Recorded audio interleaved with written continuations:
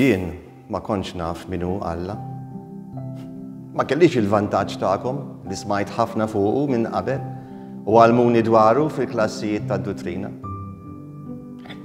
Imma, jum fost l-oħrajn, fi xjuħiti, għamilli sejħa biex inħalli l-kumdità ta' dari u nivvjaġġa lejn art imbegħda li mank xi sima ma qalli.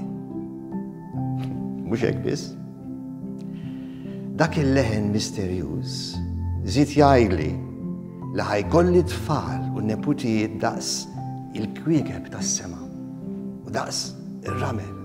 li hemm fuq wiċċ l-art. Qalbi qed issa żgur qed jiġġennen dan.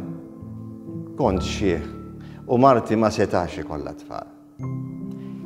Imma xi ħaġa ġo qalbi ġaħlitni nemmen. Nafda f'dan l-Alla misterjuż. U ma ddispjaċinix tafux. Għax hu jrini triq u żamm il-wegħda. Jum fost l-oħrajn, fil-kamp tagħna, jaslu tlitt irġiel mill-bogħod. Kellhom arja misterjuża fuqhom. Donnhom anġli bla ġwienaħ. Kif imdorri nagħmel jiena lqajthom qishom ħbieb tiegħi, qishom minn ta' ġewwa, qishom mistennin. Wieħed minnhom, wiċċu moħbi ġol-mantar ta' fuq rasu, b'vuċi li donna ridt inxebbaha ma' dik li kont ġa smajt mis-sema żmien qabel. Dan ħabbarli li marti Sara kienet se tagħtini iben. Ġonk smajnija tfaqqa' waħda minn ġol-kċina.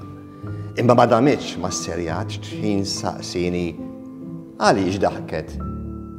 Kienet kemm kienet tidher ġennata dik l-aħbar li tani dak il-barrani, ġo qalbi emmintu.